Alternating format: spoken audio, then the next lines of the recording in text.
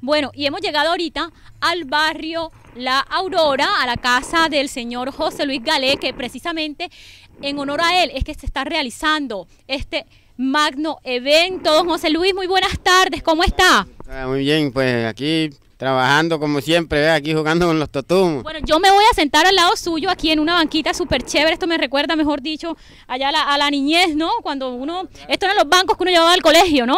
Ay, que hasta son hasta cómodos, son deliciosos. Bueno, José Luis, cuénteme qué está haciendo. Pues aquí estoy haciendo, abriendo este totumo para hacer unas totumitas, será para tomar mi café de leche, porque las losas están como muy costosas. Bueno, ¿de dónde don José Luis nació como esa inspiración eh, de comenzar a trabajar el totumo? Porque veo que hace cosas magníficas. Esto nació de, del campo, que yo trabajaba en el campo y veía los totumos y entonces con esas cáscaras, la cáscara del totumo la coge uno para el servicio, para uno agarrar agua, para uno tomarse la sopa, para muchas cosas, para, hasta para medicina sirve el totumo. Pero, ¿para qué cosa medicinal sirve el totumo? Porque es muy importante que las personas sepan. El totumo viene uno y lo parte hacia arriba, parte hacia arriba y le saca una parte de la tripa y le echa leche y le echa un pedazo de panela y eso lo pone a hervir como si fuera la olla. Sí. Lo pone a hervir y le echa esa agua cuando uno le está cayendo esa gripa así. Se la bebe uno esa leche y, es muy bueno, ya gripa. Ok, podemos abrir un poco para mostrarle, me parece importante mostrarle a los televidentes exactamente, mirar lo que el totumo tiene dentro. Para poder trabajar el totumo, lo primero que hay que hacer es sacarle la parte de dentro. Tripas, sí. Las tripas que le llaman. Sí, la tripa. Ok. Entonces... estamos haciendo esto.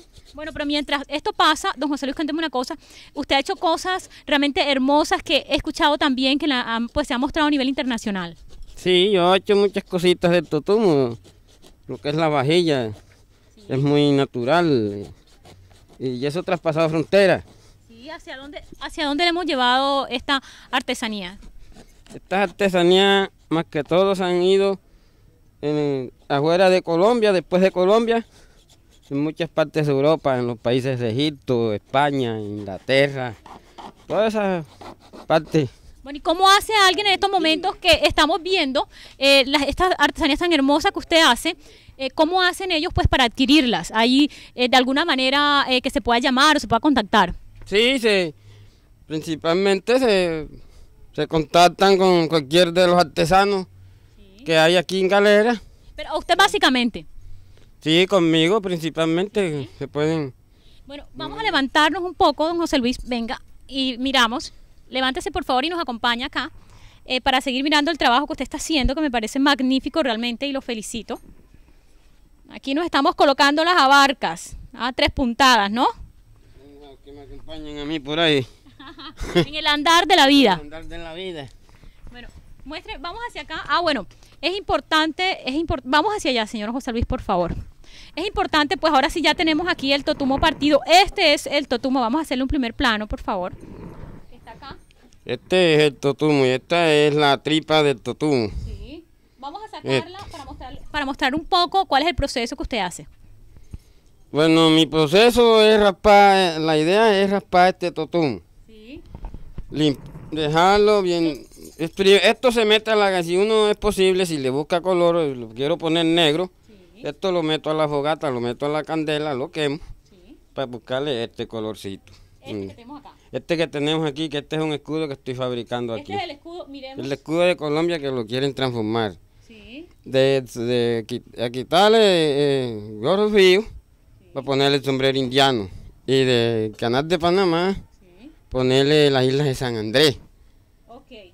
¿Esto, ¿Esto es algún pedido o es algo pues que usted le nació a hacer? No, esto fue cierto, sí es pedido, que me lo pidieron así de la misma gobernación de Sucre. me hicieron ese pedido, que yo como les hago el escudo, lo estuve haciendo con es el escudo. Pero entonces el gobernador me dijo que se lo hiciera, pero con el sombrero indiano y la isla de, de, San Andrés. Bueno, José Luis, como Para mí es muy fácil de hacer esos dibujitos, pues me quedó fácil la idea. Le cuento que lo felicito realmente, muchísimas gracias por acompañarnos. Eh, nosotros quedamos aquí, yo quiero probar definitivamente un tinto. Eh, en estos eh, pocillitos y bueno, por supuesto tienen que venir a la casa de José Luis y comprar sus artesanías. Comprando unas artesanías, no, se toman un tinto, se toman hasta 10 hasta un traguito también de, ron y es que se lo meten con los mismos pocillitos. Bueno, perfecto. Muchas gracias a ustedes y bueno, nosotros seguimos aquí, por supuesto, eh, en contacto con ustedes. Claro.